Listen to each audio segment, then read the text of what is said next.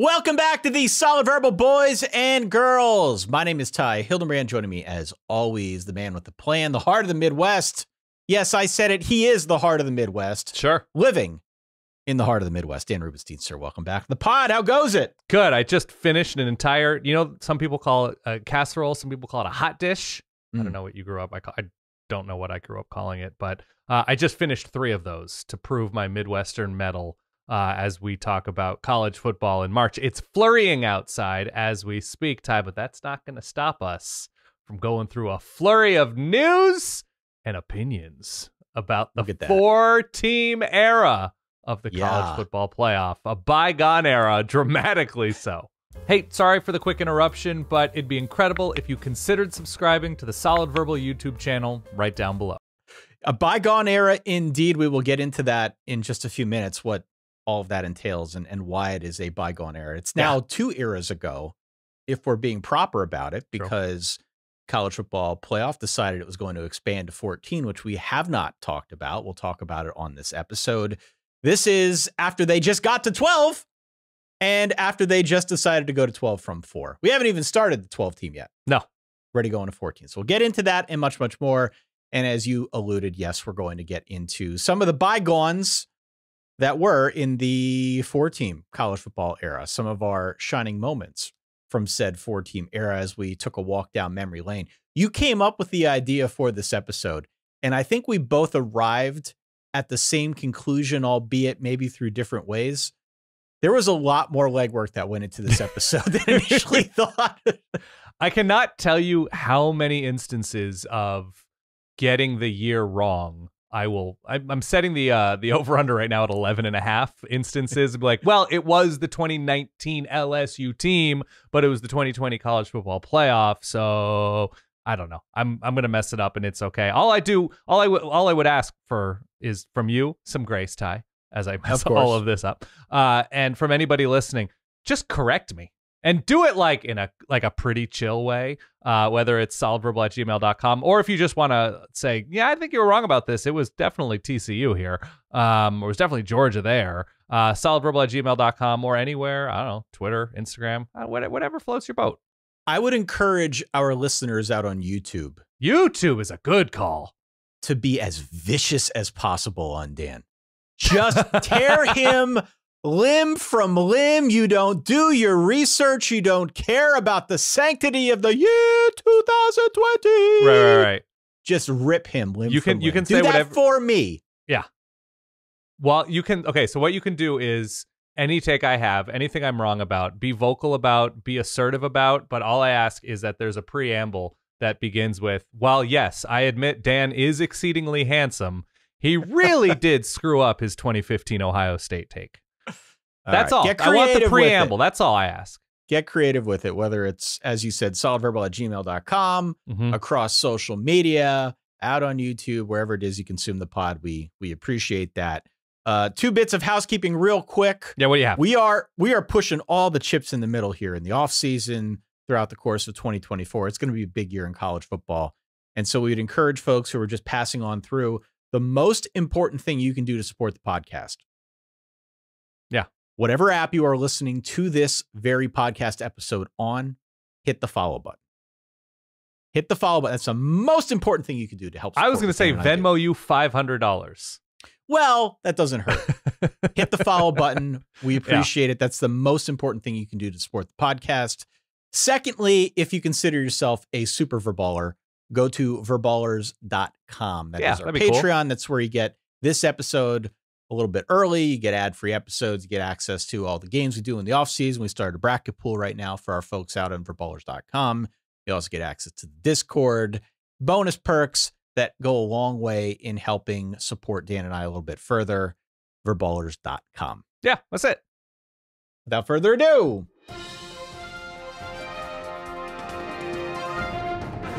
gonna save my voice for the season, Dan. It's not so much breaking at this point. We're recording this on Monday, March the 18th. Many of you will listen to this on the 19th. And oh, by the way, as we travel back in time to March the 15th, it became official that they were going to 14 in the college football playoff. Um, this had followed a few weeks worth of rumors. It started with, yeah, they're just they're just kind of kicking the tires on this. Maybe we go to 14. It'd be a little bit more like the NFL. You guys like the NFL, right? Before you know it, then we were talking about, well, maybe the Big Ten and the SEC might get an unequal share of the pie because they're the two head honchos now in this new world order of college football. Then we saw some rumors about, wow, maybe they'll be guaranteed a certain number of teams. And we didn't like that at all. We talked about that a little bit on the show. But as luck would have it, on Friday, March the 15th, it became official that, are, that they're at least expanding to 14. They're expanding to 14 starting in 2026. Included in that agreement is what should be considered unequal revenue sharing, with the Big Ten and the SEC getting a larger slice of the pie. I don't know if it is egregiously so. We can get into that in a little bit. We also don't know exactly what the format of that is going to be. They sort of punted on who is getting into this tournament, who those 14 teams will be. We know it's going to be obviously the Power Four conference champions. There'll be a group of five representative as well. But the other nine teams, we don't know exactly what that format's going to look like right at present. They'll get into that, I guess, when they decide they want to. But as it stands, we've got 12 teams for the next two years. Then we go to 14 teams starting in 2026 and beyond. Dan Rubenstein.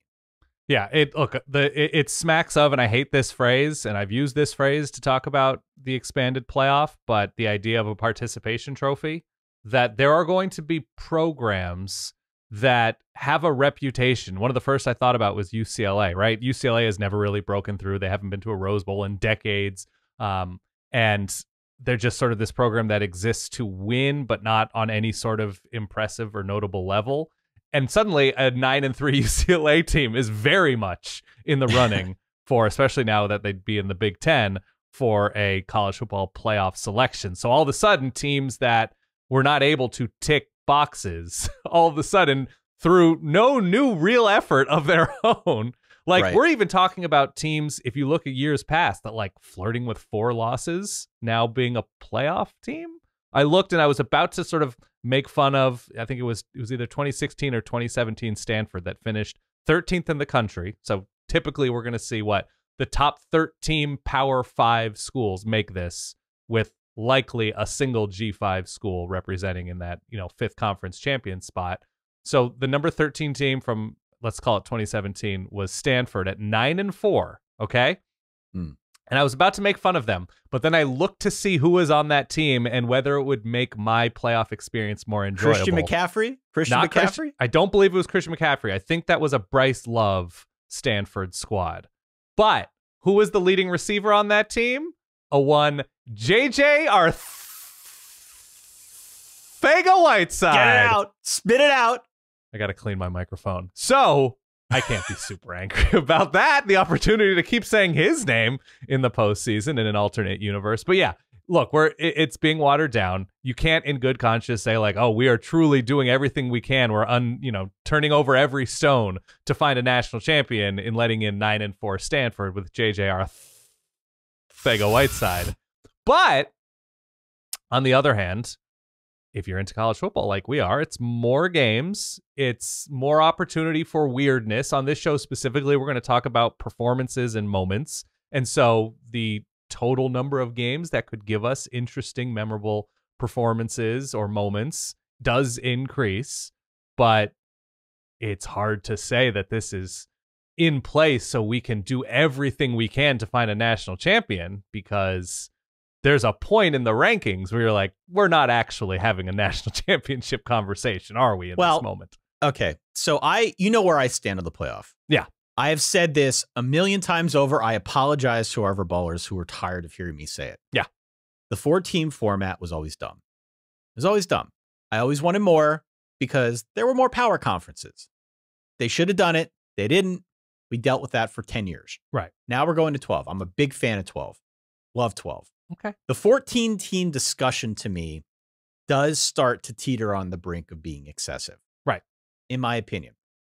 I don't so much mind that they're taking away two of the buys and they're adding two games on college campuses as part of this. Mhm. I'm assuming that's what they're doing. Now they haven't said that, but I'm assuming that will be the way that this thing's go. This, the way that this thing goes, there'll be two fewer teams with buys. Those games will be on campus.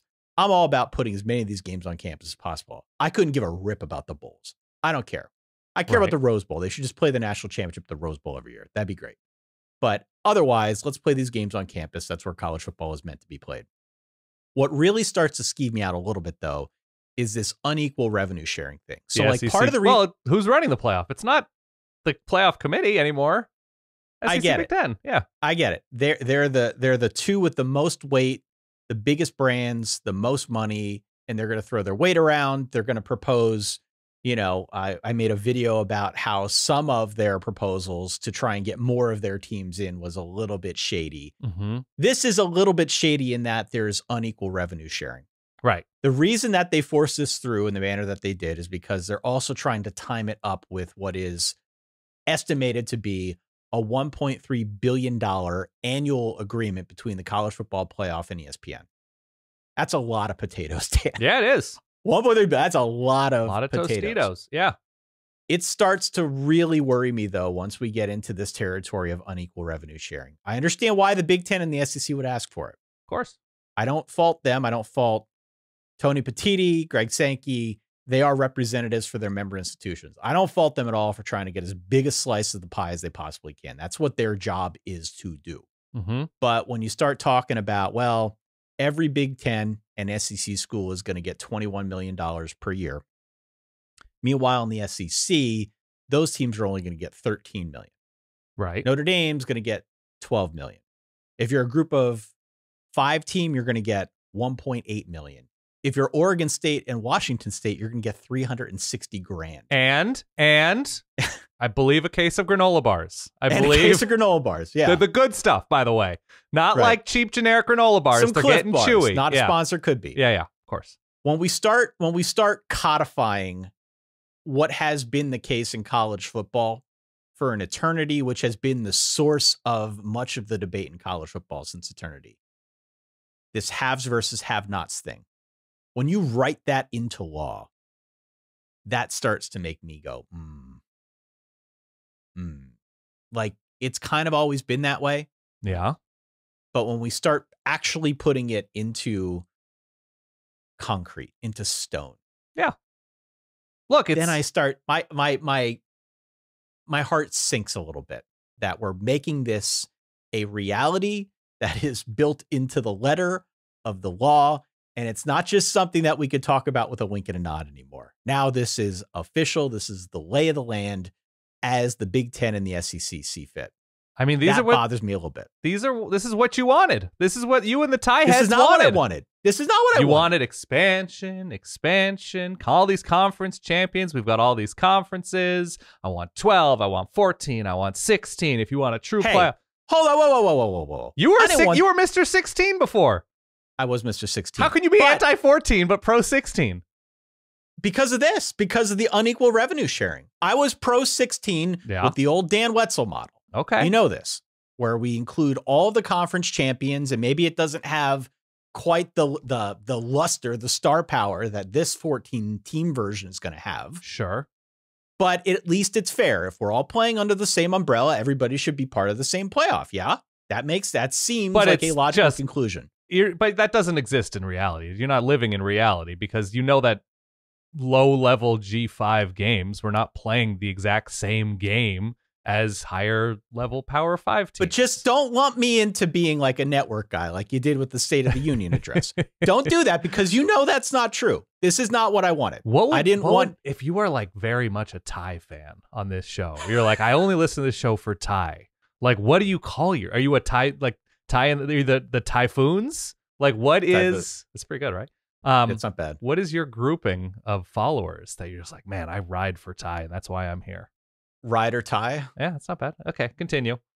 I would like to know what the Dans are. Please write in. Let us know what these what these Hmm. two warring factions are among the Verballerhood.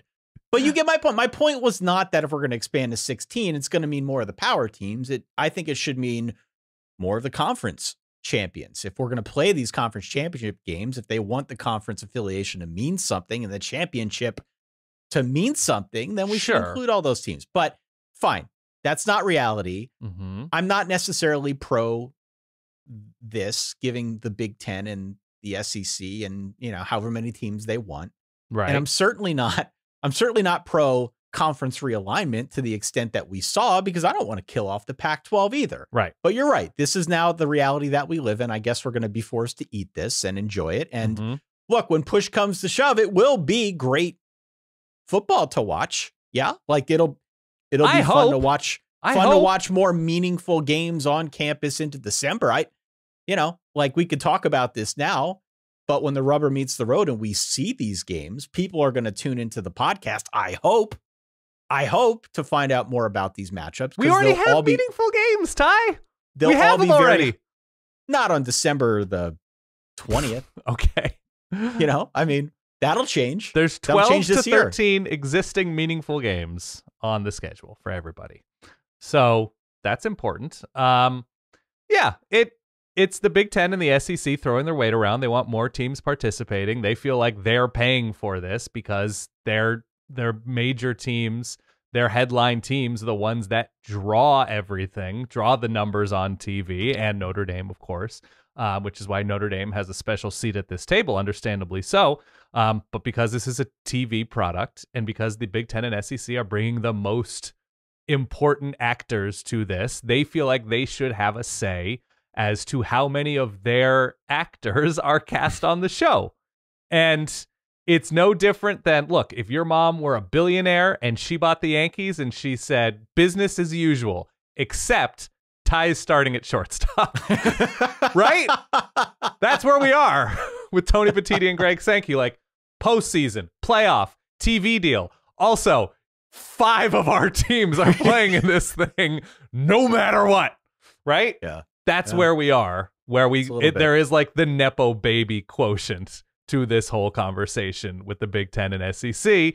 And I, I saw there was an anonymous quote. I believe it was Heather Dinich who wrote the article for ESPN, where it was like the Godfather offer. You can't refuse it because this is what's laid in front of you, and this is as good as it's going to get for you know G5 conferences or independence, Notre Dame, whatever. So yeah. an offer they couldn't refuse. I this is where we are. And it would be stupid for me to make any sort of uh analogy, metaphor, whatever, beyond the thought of 42 year old Ty playing shortstop for a random Yankee game in Baltimore in mid June, which is great. Um, hits where we are. Let's try to see the positive of it. We don't necessarily, I think we're in agreement that we're not positive who this is for beyond ESPN and potentially anybody they subcontract this out to. Ah, this is inventory. and This the Big Ten and SEC. This is inventory for ESPN. Right. And this is another bite at the apple for the Big Ten and the SEC because it's clear that they're driving the bus at this point. Right. You know, and and frankly, if you are the Big 12, if you are the ACC, if you are a group of five, if you are seeing the tenor of this conversation go in the direction of 14, hmm means more money for you guys.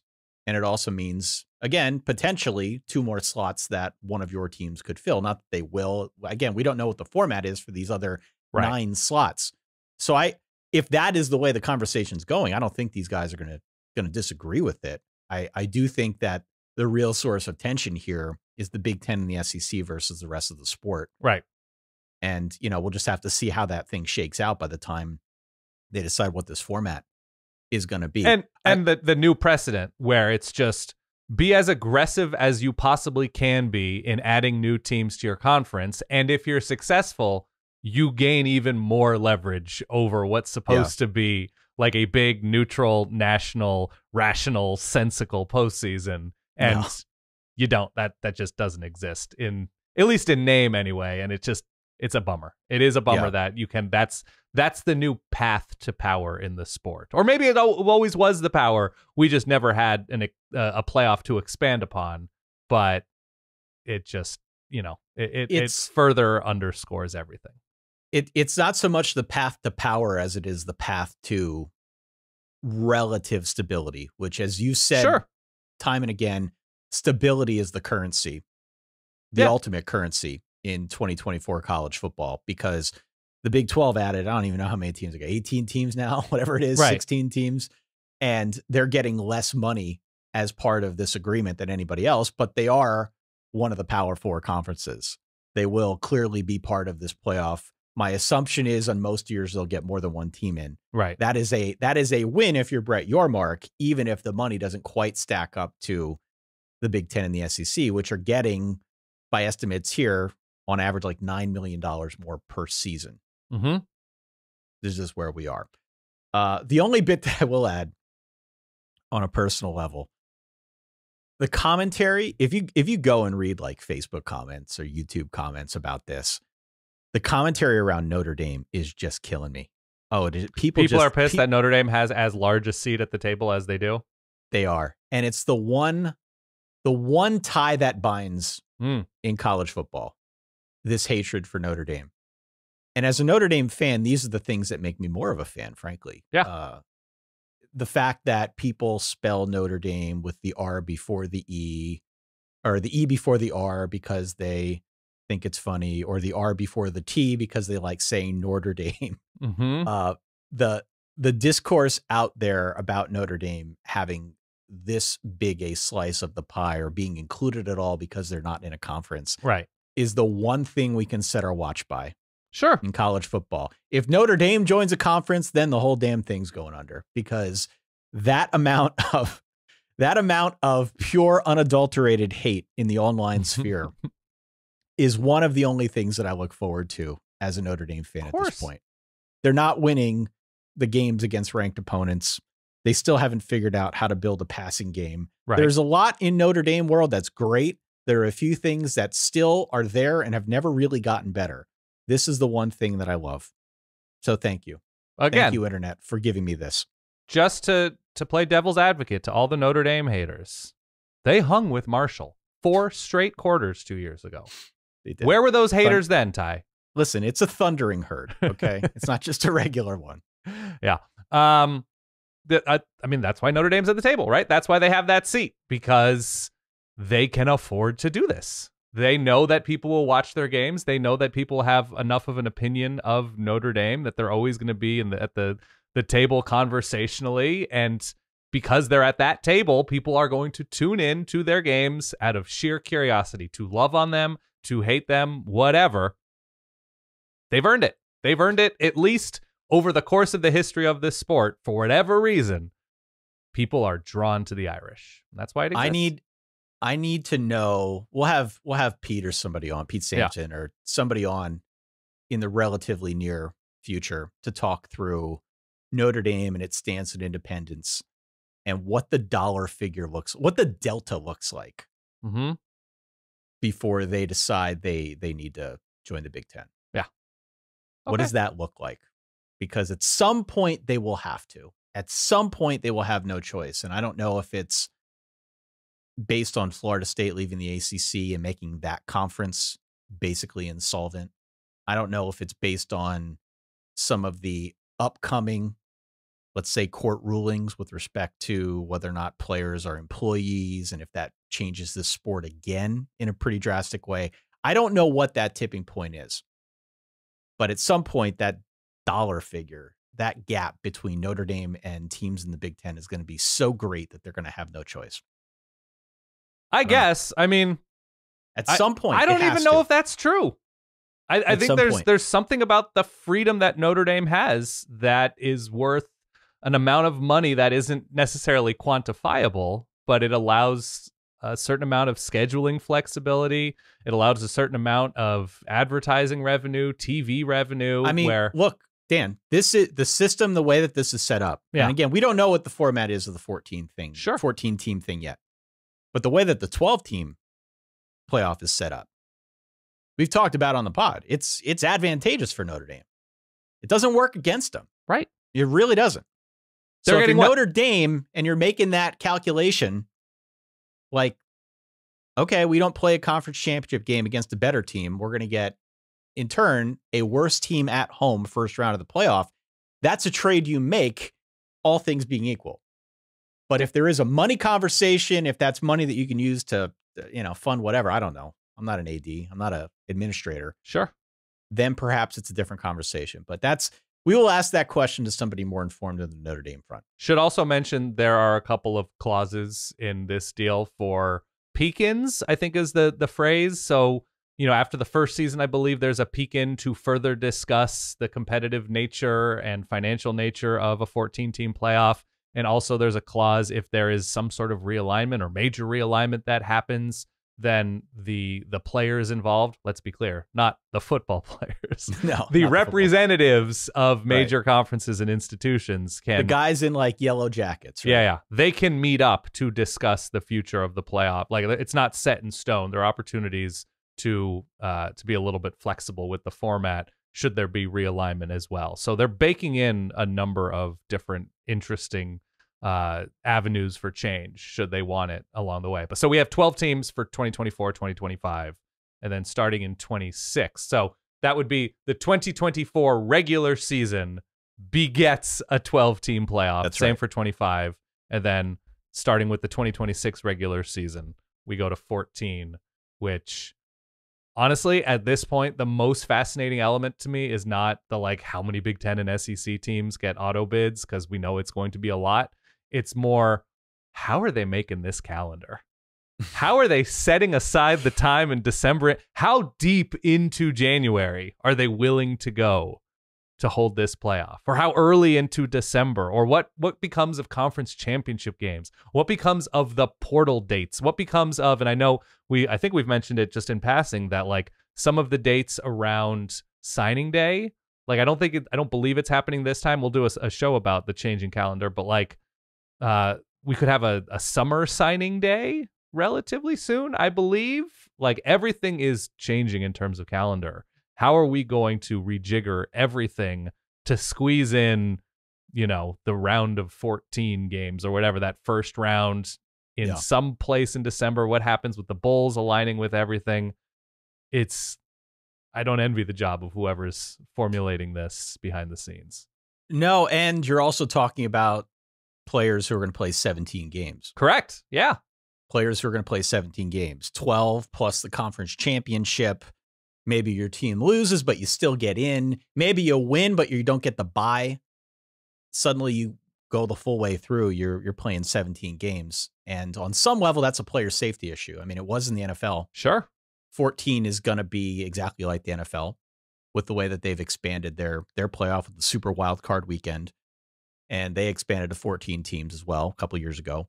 And so, on some level, there's a conversation here about if we do get to a point with college football where we're calling players employees, even in the current state with NIL, where players can use leverage if they want to. We haven't seen a whole lot of it, but there, you know, there's certainly been opportunities out there. If, if players who are ripe for the NFL and ready to go on to the next level look at the playoff system and say, "Wow, this is." Hmm, I don't know. I don't know if I want to put myself through four more games. Those are conversations that I think we're going to have more of even the this thing progresses. the red shirt conversation around like you get the four games um and then we've had an ability to watch red shirt players in bowl games so is there going to be a, a player who plays six seven eight games or something like that in a season but technically it didn't happen in Yeah. terms of their red shirt year i i can't wait i can't it's it's so screwy and say what you will about the four team model it was, and you can argue about the selection process, you can argue about a number of elements of it. In terms of schedule, in terms of bracket, pretty clean. Yeah. Pretty clean way of going about a postseason. I haven't been a big fan of it overall. It's just been kind of janky to me. But I look forward to all of the four team hipsters that this sport is about to breed in like 2033. Ah, the good old days when I could just watch Darron Lee tackle, you know, Thomas Tyner or something early Oh on my in the God. four team era. Um, it's uh, it's gonna we're we're gonna get a bunch of four team hipsters out of this, which is truly astonishing. Four team hipsters. That's a perfect segue. That's what I do. That's a perfect segue to get into the meteor portion of this episode where we talk a little bit about some of that 14 era. Before we do, though, again, hit follow if you want to help support the show. We appreciate that. Also, chime in on social media, chime in via email, solidverbal at gmail.com. Really, wherever it is you're consuming this, whatever means you are comfortable with, let us know what your thoughts are in this 14 teamer. We've been, we've been, I think, very interested. We always are, but let's say even more interested to get the pulse of the verballerhood on this one because after years of college football sort of being rooted in one philosophy, suddenly things have changed very drastically. And that is when you get very interesting opinions Yes. from folks who have followed this sport their entire lives, people who live and, and die by the sport the way Dan and I do. Uh, we we just welcome any and all feedback. So however you can, hit us up, let us know your thoughts. We've had people send in their own formats and their own formulas and their own conspiracies. We read all of that stuff. We can't respond to all of it, but we we certainly do appreciate it. So however you are comfortable, reach out and uh, give us your thoughts. On the topic of the 14 teamer, Dan, The slipper still fits. it is March Madness week here. yeah. Oregon's in the tournament, an 11 seed, right? Pack the final Pac 12 men's basketball champions. Yes. Taking on South Carolina. Are you going to pick a bracket? You're going to pick a bracket. Of course I am. Yes. You have to pick a bracket. We have, I started the pool. So if you're a, a Patreon baller, you can play in the pool. Um, I'll make sure that that gets posted for people who are interested. Um, have not looked at the bracket, have not watched any college basketball this year, but of course I'll be picking a bracket and being in multiple money pools. That's just the way I roll. You haven't watched it? I've, I've watched a lot of Caitlin Clark. That's been real fun. I haven't, I haven't watched a minute of college basketball this year. Oh, too a bad. you. single minute. I've Okay. seen some of the controversy about court storming and players getting like Right, right, right. knocked over and some of the Jay Bilas takes, but beyond that, I am I am relatively uninformed. As Purdue is good, years. and they've got a big, tall guy named Zach. Zach. That's Edey, what I yeah, can tell you. that I know. Yeah. and they lost last year, I believe. Well, Big Ten teams always lose in the tournament in embarrassing yeah. fashion that first weekend. Yeah. So, um, I play the Gus Johnson sound. I'll play it again. The slipper still fits. Thank you. One of the all-time great clips during tourney time from our man Gus Johnson. We went back through time and we looked at some of those moments over the four-team era that bring us the warm fuzzies, Yeah, of course. sense of nostalgia. Some of these moments that I guess are going to be gone into the hourglass of time and um, gone through the sands of time. I don't know, whatever. Some of those moments throughout the course of the four team era that um, we look back on fondly now Yeah. as we're expanding this thing to 14. Yeah, we've got. I, I don't know if we're dealing this with this on in like a, a one shining or a bunch of shining moments uh, level or a high school yearbook superlative type level, but looking back on the last, so it would have been what 10, 14 playoffs. Yeah. Is my math Yeah. correct? I hope Yep, it yep, is. Yep, you got it. um a bunch of stuff that i i forgot about a bunch of performances that i would love to to rebathe in the jacuzzi of. Like there's a Mm. there's been a lot of excellence throughout the years. A lot of names where you're just like i remember that guy. Then you like go back and watch the highlights of jk dobbins against clemson right? Or like jk dobbins and trevor trevor if you travis etienne on the same field like there's there's so much and there's obviously look there's a lot of ohio state there's a lot of clemson there's a lot of alabama but the individual performances the weird plays the streaks like there was a lot there's a lot of meat on that bone that i think we can now in turn as four team hipsters um we can we can start gnawing a little bit Start us off. What are you gnawing on? all right, who look who is the best team of the playoff era? To me, there are a number of quality answers to this. Um 2021, so the 2021 regular season Georgia. Most definitely has to be in that conversation. I believe they of the the college football playoff national champions finished with the the season best net points per drive, which is a, a sort of straightforward metric that I look at. Offensive points per drive minus defensive points allowed per drive. It's like 2.7 net, which is an Yeah. insane number.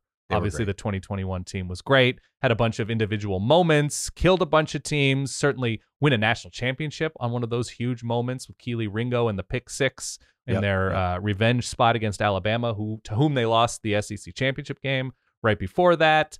Um, you have 2019 LSU, I, I was going to say 2019 LSU for me.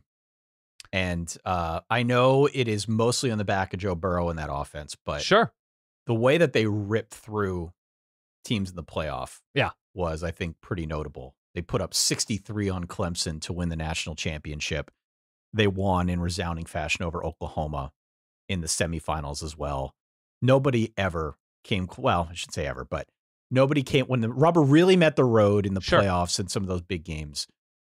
This was LSU asserting its dominance. And obviously, Joe Burrow won the Heisman that year. I, Right. That was just such a once in a generation team that for me, it's hard not to put them number one. The vibes are hard to top. If Yeah. you look at the actual data, if you look at, you know, the number of NFL players on both sides of the ball, there are interesting cases for other teams like 2021 Georgia, like 2021 2020 Bama with Mac Jones being extraordinary, obviously DeVonta Smith being likely the best receiver of the modern era in terms of his casual dominance, Sark calling the plays for that Alabama offense, casually just also walking to a national championship win against, I believe, Ohio State after beating Notre Dame in the uh, in the semi In that year. 2020, yeah, yeah. And so there is something about that Alabama year, that year's team, and the the. I mean, look, you look at the receivers on the LSU team; it's matched in terms of the the college performances and bright shining talent of Alabama. So it's Ruggs, Judy, DeVonta Smith, and uh, who am I forgetting? Jalen Waddle Jalen Waddle, yeah. right? So you have superstar power at receiver for both of those teams. Najee Harris in the backfield, uh, Clyde Edwards Elaire for LSU.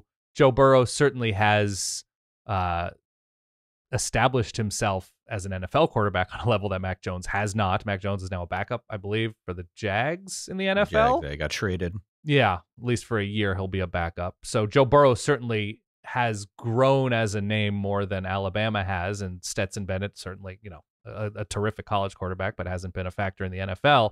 Um, I kind of limit it to those three teams, and I don't know if there's a team whether you look at like 2014 Ohio State with the way they finish out the year, but like you compare Cardale Jones against who was great, was absolutely great, Big Ten championship, and certainly uh, the Alabama game. Uh, with great Clemson teams, Deshaun Watson, Trevor Lawrence, but in terms of, and this is subjective, electric vibes, I think what LSU did, and I actually, and just in looking at the playoff, do you remember what they did against Oklahoma in the first half of that semi? Yeah, they scored 50 destroyed 'em. points. They destroyed them. I think it was 49 points in the first half. And when it gets to be that cartoonish, it just resonates with me. So it's obviously a subjective answer. If you're a Georgia fan, if you're a fan of huge defensive football and you say 2021 Georgia is not losing any of these games, that's fine. Georgia did lose a game, though. Georgia. Georgia lost to South Carolina in double overtime. There were four big no, I'm talking about year. 2021 Georgia lost to Oh, uh, 2021 you're talking lost about. Alabama Okay. in the SEC championship. I'm talking game. 2019. 2019 was a a big year across the board. Yeah. It wasn't just LSU and the generational season, but uh, Georgia lost the uh, double overtime. South Carolina, that was a big deal. Sure. Wisconsin, I don't know if you remember Wisconsin losing as like a 31 point favorite to Illinois. Mm-hmm. Uh, your Oregon Ducks lost on the road to ASU. Don't remember that and one. Yep. no, of course not. And number five, Oklahoma lost on the road as a 23 and a half point favorite against, I believe, Kansas State. In Yeah. addition to the fact that, Skylar This was all- Yeah. yeah, this was all underpinned by the Alston lawsuit, not to get too gooey with the legalese here, No, you're known for your gooiness. Continue. but the Alston lawsuit was what paved the way for NIL. It was Yeah. built on the back of the Ed O'Bannon lawsuit that had come down, uh, I think, a few years prior to that. But that ultimately sort of changed the way that college football is viewed now. It put us, in a sense, down this path of NIL and the transfer portal and money. And, well, we could talk about that on a separate podcast. 2019, by any measure, was a really momentous year in the sport. But Yeah. Real quick, if you like the video, please consider subscribing to the full podcast at solidverbal.com, Apple, Spotify, wherever you listen to podcasts. All the links are down below in the description. for me, it's LSU one. Um, we've had this conversation before about Michigan in 2023. And a crazy ending, by the way. I mean, that's why Alabama's 2019 squad isn't in this conversation because they were incredible. They lose a shootout to LSU, and then they lose to Auburn. Uh, Right. Mac Jones at that point had taken over. Tua gets hurt, I believe, against Mississippi State. Mac Jones outperforms Bo Nix when he's completing passes to Alabama players, but he also throws two pick sixes, which ultimately iced the game for Auburn. So yeah, you're right. 2019 was bonkers. It was great. 2019 was bonkers. 2023 was bonkers in a sense too. Sure. And um, Michigan wins 34-13 over number two Washington. The Battle of Michigan versus Michael Penix and this crazy run that the Huskies went on with their offense, primarily their offense, key moments on defense that catapulted them, got them to the national championship game. We we've had this question before about where Michigan ranks in the pecking order here. Yeah. Um, Michigan, I think, was a different kind of team than some of the ones, certainly than 2019 LSU. Yeah. But I think the way that Michigan pulled together and the way that they were able to kind of assert their will on teams should not be forgotten in this conversation. They might not be number one, number two, or number three, but I think they're certainly in the top five here as we look back because of their ability to do, in essence, the same thing over and over again. Teams Right. knew what was coming and they still could not stop it from the Michigan side of things. Never mind the whole Connor Stalions thing. I mean, I know Michigan fans don't like to hear us talk about that, and that's fine Right. but their ability to do the same thing over and over again, seemingly frustrating the hell out of opponents, was really, really notable in my mind. Like, as a Yankee fan, the way that Mariano Rivera would come in and basically throw one speed, it wasn't always one pitch, but it was one speed the entire time Mm-hmm. and be dominant. Feel a little bit like that with Michigan this past season. You knew what they were going to do. There were nuances, there were wrinkles here and there, but ultimately it was we're going to hand the ball off, we're going to bash your brains in. Mm-hmm. We'll allow JJ McCarthy to to, you know, do some things within this offense, but it's mostly based on what we can do on the ground and playing killer defense. And they did that to great effect. They'd been building for 2 years prior and they finally were able to get over the hump this past season. Yeah. That's I think an accomplishment. And Huge. watching them kind of go through the the added elements of you know the the having coaches suspended like having to deal with this off field controversy Yeah. the way they pulled together that that should not be overlooked as part of this conversation when we're talking about superlatives No, I think that the things you hold against Michigan aren't fully their fault, right? The Big Ten was kind of hot garbage this year. And so, just in terms of fun, electric vibes, you're not getting that from Michigan. It's not like their team was built for that anyway, but the Big Ten was terrible. The schedule was largely terrible. Um, and Michigan did not get lucky. They won these games, but they played against a, a probable non NFL quarterback at Alabama, which is a rare feat, right? To, to have at, at this point in Alabama's uh, time that to have a guy to, to beat a, a, an Alabama quarterback who's likely not going to be an NFL starter a starter at any point. Um, and then uh, a Washington team which had a national championship caliber offense but not defense, and Michigan can't control who they play. I, I think Michigan as a unit would hang with the very best of this list. Georgia and oh yeah you hold it a little bit against them because they did play uh, a playoff Georgia team and didn't belong on the same field relatively recently. Um, not that their the roster was exactly the same. Every every year is its own little ecosystem, its own living, breathing thing.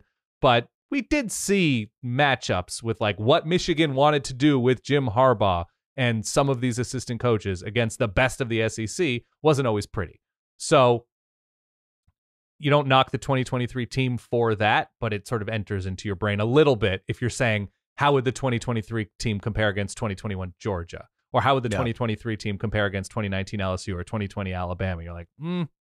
They compared favorably against Washington and this year's Alabama, but I don't know. Um, I'm I'm still a little bit miffed that they lost TCU. For for as good as the TCU story was Right. in the 2022 season, mhm. TCU did not belong on the same field as Georgia.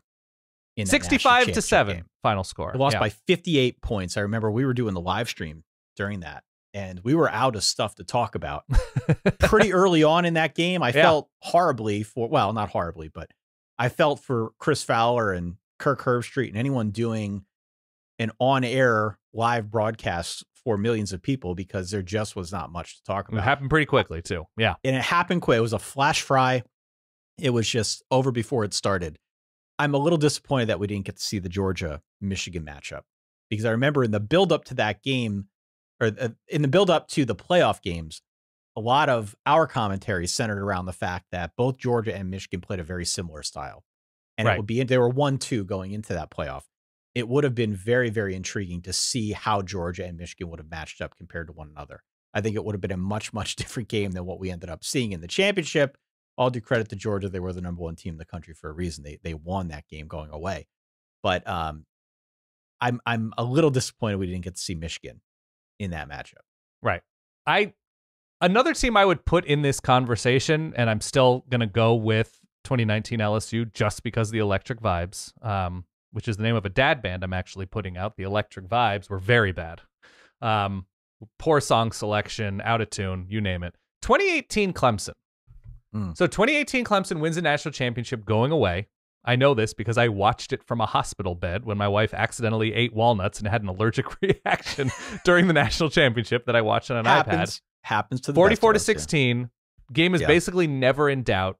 Uh, this was the best defense in the country. Clemson had a Brent Venables defense. It was a top 10 offense. Trevor Lawrence as a freshman. Travis Etienne. I believe this is Justin Ross. Tee Higgins, if I'm getting my years correct. Like they have winter wonders at receiver. It was almost the reason why we coined that term winter wonders. That like Yeah. Clemson's receivers. I mean, maybe Amari Rodgers on this team, if memory serves. Uh, post Jordan Leggett, perhaps. But like these guys, where just like, you only have so many DBs, and Clemson just has this like unlimited armory of receivers, and uh, that seemed to be such a difference maker when these guys were going up and making plays. Mike Williams in this era of Clemson. Um, and they were just bodying Alabama DBs left and right. And obviously, Clemson has the history with Alabama in these national championship games, going Yeah. back and forth, and Yeah. what 15 and 16 teams. Um, but yeah, the 2018 team, especially when you look at like where the defensive line was, the the amount of experience up front for Clemson, like it it might be easy, and I'll speak for myself, only easy for me to sort of overlook Clemson now because of how they've fallen off these past few years. But those teams were death. Those were They those were, teams they were, were so really good. up front. Really good up front. Yeah, and you know, you you call out sort of the seesaw between Alabama and Clemson the first couple years of the playoff, right? So 2015, that so the very first one was the Cardale Jones game. That was Ohio State, Oregon. Um, I believe I was with you. I was in your presence after you got back from this game. Yeah, I went to this one with Spencer Hall. Yeah, I was I was there. We Jerry did a, World. we did a post show at yeah in in Texas. But Mhm. beyond that, um, the seesaw between Alabama and Clemson from 2015 through 2016, 2017, 2018, we had a good little stretch there where these teams were going back and forth. Outside of those four games, most of the championship games that we've seen have not been particularly close. No, Even the one in 2018, the Trevor Lawrence game that you mentioned when he was a true freshman and came in after starting the year behind Kelly Bryant. Clemson won that game 44 16 over Alabama. We did have a nice little stretch there, though. 2015, Alabama wins 45 40 over number one Clemson. 2016, number two Clemson gets revenge over Alabama 35 31. 2017, Alabama over Georgia. Yeah. 26 DeVonta, 23. yeah. That was the Tua game where he came in at halftime. That was an overtime game. Um, outside of like a nice little run there, most of these championship games have not been particularly close, no. which is interesting. Uh, agree. Um, so in my best looking superlative, I have 2019 LSU, 2020 Bama, 2018 Georgia, 2020 or 2018 Clemson, 2021 Georgia, and I have down here Bo Scarborough just in general because I remembered him looking absolutely jacked. Went back and looked it up. Was correct. Yeah. So best looking just in general. That would have been the 2016 Alabama uh, Yeah. win over Washington. He had a huge run uh, Alabama holds Washington to I think just seven points. Jake Browning was beat up, I think, heading into that game and just didn't have the arm. But the Washington defense was great that year. Um, so that's I think that was the year where I said I don't see a loss on this schedule. They did lose to Sam Darnold and USC, but they did Right. drop 70 on Oregon in a winning effort right. in. That's Uh, right. with Jake Browning pointing to an Oregon player as he ran in a touchdown. One of the touchdowns, ultimately one of the pieces that got Mark Helfrich fired, um, and Oregon right. hiring Willie Taggart for a year. Willie Taggart for Um, a year. But yeah, that was uh, that was my Bo Scarborough reference that I wanted to to get in there. What about worst? I don't. I, I want to say worst teams because these are all playoff teams. So I have like worst looking for playoff performances, playoff teams, whatever. Mm. I have down here.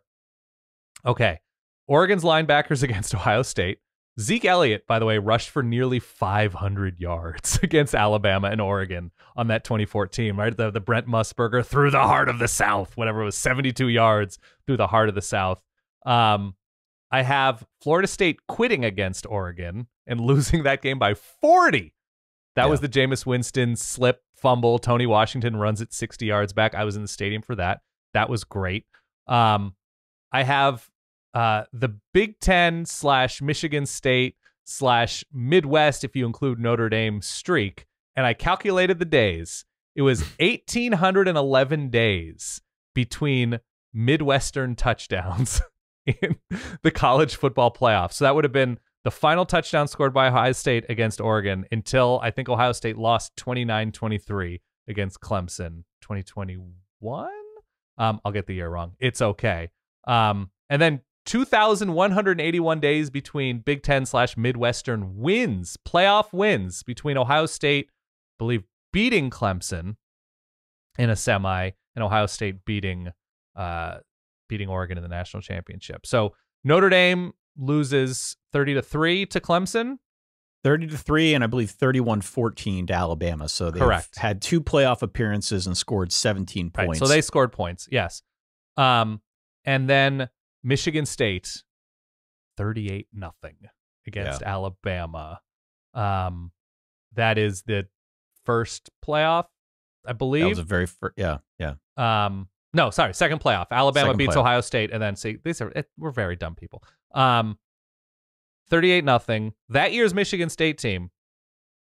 Really good team. It was a really, really good team. They beat Iowa State 16 13 in the Big Ten championship game. That's a Connor Cook Michigan State team. Probably was in a position to lose to Purdue. Probably should have lost to Oregon, but they make it there, kind of behind. Um, well, not kind of behind an impressive win against Ohio State, in which Ohio State decided not to give the ball to Zeke Elliott. If you remember that 17 13 loss, um, where Zeke got 12 touches, I want to say. So Michigan State gets in there and they score precisely zero points. I think Michigan State's a team I thought of first Yeah. when you mentioned this. Okay. And you know, to their credit, that was a very good Michigan State team, as you said, but they Yeah. did sort of run into a bit of a buzzsaw, right? I mean, they're playing against Alabama. That Alabama team won the championship. Clemson was also in the mix there. It was right in the throes of this Clemson Alabama rivalry of sorts. mm-hmm. and there were a bunch of teams that sort of got thrown thrown to the side amid that. Oklahoma is one of them. You mentioned Michigan State, Washington. We could throw Washington in there, even Ohio State to some extent. Teams that Notre Dame, right? Teams that were also vying to try and get their moment in the sun, but just couldn't because Yeah. Alabama, Clemson were going through their their heydays. Um, what else jumped out to you? I you went back through all of these. Yeah. And uh, Bo Scarborough maybe is a good example, but you know, I, I looked through just to try and get context for where some of these seasons were interesting. Mm-hmm. And, you know, of course, it culminates with the national championship. But I find moments like 2017, Iowa put up 55 on Ohio State. Yeah. Can you imagine keep if, them out? if yeah. Iowa, if Iowa put up 55 on Ohio State in 2024? What People that- would assume that- it would be women's basketball. I mean, how far we've fallen as an offensive unit. Yeah, their, and their offense I don't think was even that great that year. You can go back and look up the scores. I think it was sort of like a weird, every like just the stars aligned on a random Saturday with Nate Stanley and Iowa. But yeah, that helped to keep out a very good Ohio State team out. They so they I believe they started that year. That was they lose to Oklahoma with, as we remember, Baker Mayfield does what at the end of that game? Plants a big old flag at midfield in Columbus. So it's tough to lose. I mean, look, Oklahoma was a playoff team that year. We haven't even mentioned that Oklahoma that season probably pay, played in, depending on your preference for game style, the most memorable college football playoff game we've had in the Georgia Oklahoma Rose Bowl semi, just at an absolute shootout that Georgia somehow comes away with a win. Unthinkable for Georgia to play in that kind of game now, but Yeah. A crazy entertaining game. Oklahoma looked certainly much better in the first half. Uh, Georgia has the great running backs. It's a Jake Fromm Georgia team. That's Uh, right. He leads them Yep. to the national championship very early on in his career. But uh, no, that was it was a crazy game. I remember watching that with I think I was watching it with our friend Bill Barnwell in Brooklyn, and it was just a stunner of a TV show. Couldn't have asked for more. Um, mostly because I wasn't rooting for either team. I just wanted entertaining football. So yeah, that was that's probably the single greatest performance by two teams in a game to me, just because of the back and forth nature, not by defenses, but by the back and forth nature. By the way, that we've had to have like a, a Mike Stoops conversation about the four team era that he was like heavily involved. Like his his footprints, his handprints, whatever, his fingerprints are heavily on the four team era is not a great look for the four team No. era. Yeah, I mean, I uh, one other thing that jumps out to me in looking back, and this Yeah. is because I'm a homer. Mm-hmm. I'll admit it. Penn State not getting into the playoff despite winning the Big Ten title. Yeah. So this is In- 2016. This is a 2016 season, so this is the year where they they had sort of the their own version of the kick six and knocked off Ohio State at Beaver Stadium. Right. Then they ripped off nine straight wins. They won the Big Ten title game. Saquon Barkley on Penn State. Trace McSorley. I mean, this is in the the Joe Moorhead era of Nittany Lion Huge football. comeback against Wisconsin, right? In the Big Ten championship game. Huge comeback. I was at my friend's apartment. We were screaming, pissing off the upstairs neighbor. Mm-hmm. I mean, though those were the days for Penn State football when they had Saquon and they were kind of going through it. And um, I, I always wanted to see what that team could have done in the playoffs. Of course, I'm a Penn State grad, so it's easier for me to say. But They um, lose. Ohio St- Ohio State got in. They lost to Clemson that year. Clemson went on to win the title. Clemson beat them 31 nothing. That Killed was a shutout game. Killed them. Um, that was also a Penn State team that one, that's the breakthrough season for James Franklin. Yep. Two, obviously Joe Moorhead. Three, that's when we, I think, coined the term F it go deep for Yep. Penn State in that game, Yep. especially where it was, was it Chris Godwin? Who were the receivers? DaeSean Hamilton Yep. for Penn State. Um, and they play in a crazy memorable bowl game against USC in a losing effort shootout in the Rose Bowl. Um, so that's the year before. Again, I'm screwing up my years, I'm sure. Um, but yes, that was one of the best teams, I think, because uh, I don't think the defense is where it's been these last few years for Penn State, but certainly a, a crazy good, entertaining Penn State team. They beat Ohio State on a blocked field goal That's right. Blocked Okay. field goal returned. Yeah. In at Penn State in Happy Valley. At Penn State. Yeah, in a whiteout situation. So that was, you know, there's there's a bunch of like weird Ohio State moments like, oh, the 2015 team was great, but they lost here. Um, the you know, there's a bunch of interesting Ohio State teams that didn't make the playoff because they were flawed in one very specific way. Um, here's what I would do as a, a disgusting homer. I would put in the 2023 Oregon team as one of the best teams to not make the playoff. Um, they finished number one in net points per drive, and uh, that's obviously aided by their bowl game against Liberty. But what with what they did to their schedule, losing to Washington the way that they did, they had the, their very specific flaw as well. But I think they're one of the best teams just because ancient quarterback, a full on grown up at quarterback, good, you know, a, a crazy talented offense that scored a ton, a defense that took a major step forward and shut down some interesting offenses. Um, I would put Oregon in that conversation of teams who didn't make the playoff that were worthwhile. Um, as what I Well, here- with Georgia this year, by the way. Yeah. Here here is what I would ask of people who are who are listening to Yeah. this, because this is a little stream of consciousness. That's right? okay. I mean, we're That's why we're here. we're that's why we're here. That's why it's the off season. And that's what these types of conversations are built for. Mm-hmm. If you're not writing in to complain about the 14 team playoff Uh huh. Or give us your thoughts about the 14 team playoff. Write in some way, shape, or form and let us know best team to be left out of the playoff Okay. over the last 10 years and best team to take part in the playoff over the last 10 years, right? So, really, Sure. both sides of that spectrum. Are you a 2019 LSU guy or gal? I don't know. Are you into 2023 Michigan? I suspect a segment of our base would probably make that case. Let us know. Best team. I don't want to know your top five. I don't care about your Right. top five. I want to know your top team.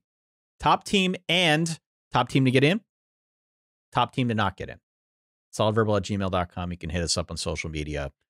Let us know again um, what your thoughts are on this or the 14 team or whatever your whatever your argument of choice is. We'd love to hear it. Oh, Can I give? Can I rapid fire you, and you're just gonna pick? Go ahead. All right, here we go. Best performances by a player. Hmm. OJ Howard going for 200 plus yards, which was basically the same number as like the 10 previous games combined for him against Came out of nowhere. Remember that? Yes, out of complete nowhere. That's Jake Coker to OJ Howard for Yep. 200 plus yards. Clemson didn't see it coming. You also have a great onside kick um, in a, an Alabama Clemson game that was incredible. Um, that's a great moment. Uh, Zeke in 2015 for 200 plus against Oregon basically single handedly won that game with the Ohio State offensive line. Deshaun Watson in 2016, if you remember being helicopter, just I think had Yep. 70 total it was like 50 passes and 20 runs, just like willed that team to a national championship. DeVonta Smith in 2020 against Ohio State, Yeah. That was ridiculous. just ridiculous. Um, in terms of like specific moments, uh, the Notre Dame kicker who tied the game at three for Clemson. Before what am I picking here? Am I picking something? The best moment oh, the best moment. or the best Okay. performance? Excuse me, best performance. best I- I- performance. Deshaun Watson. Deshaun Watson. Deshaun, outside of Joe Burrow. Outside of Joe Burrow, who is just a buzzsaw right. the whole season through. Okay. Deshaun Watson. I Deshaun Watson losing a national championship and then coming back the next year and winning a national championship to me was a pretty big moment. And it was clear that I mean, look, we've we've seen what's gone on with Clemson these last couple of years. Mhm. It was clear that within the system that they put forth, you needed to have a superstar quarterback to run that system. You needed to have people around him. You needed to have the defense and all that. You're not going to beat Alabama without those complementary pieces. But what Deshaun Watson was able to do was pretty damn impressive. Oh, my yeah. book.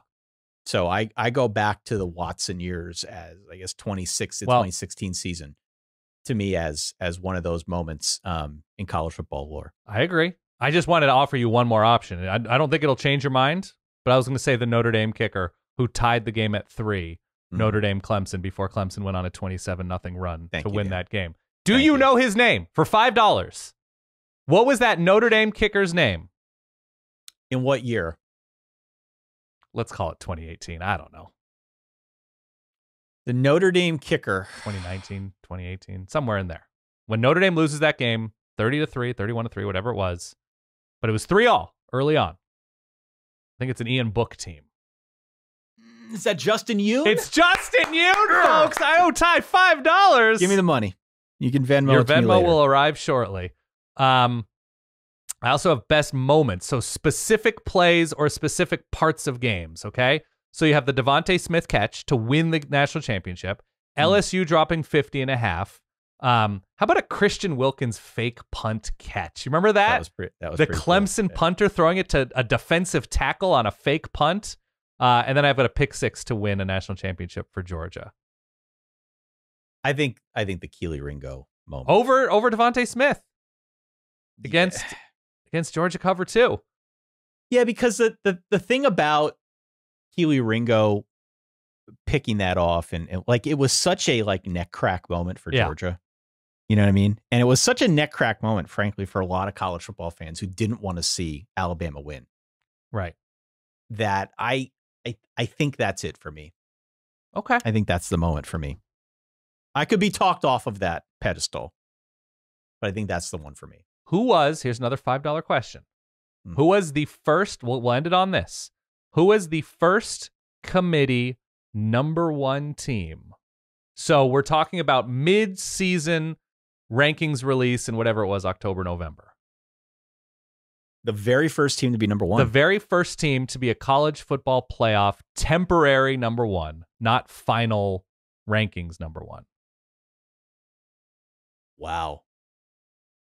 It's an unusual team. It's a team that has never made the college football playoff. Lightning Yeah. in a bottle, 2014. I know all the years blend together. Is that Florida State? It's not Florida State. Florida State did make the playoff that year. They did make the playoff. Yeah. Yeah. Um, right. Uh, wow. I couldn't tell you. It's an SEC team that has never made the playoff. Lightning in a bottle 2014. The Mississippi State Oh, Mississippi Bulldogs. State. Is that Dak? Dak Prescott. That was Dak. the Wow, first call. college football playoff number one team. Four team era number one team. All right, let's end it on that. Good question. Good question. Write in. You know how to get in touch with us. Hope you appreciated this stroll down memory lane looking at the four team playoff and some of the superlatives they're in. Hit follow, hit subscribe wherever it is you get this podcast. That, of course, supports the show more than anything else you could do. Write in. You know how to get in touch with us. We want to get your input on all of this, Dan. Um, Agree. We will talk a little later this week. Yeah. Yes, absolutely. In the meantime, for that guy over there, my good friend Dan Rubenstein, for myself, Ty Hildenbrand, thank you for listening to this here solid verbal college football podcast. We will talk to you all soon. Stay solid. Peace.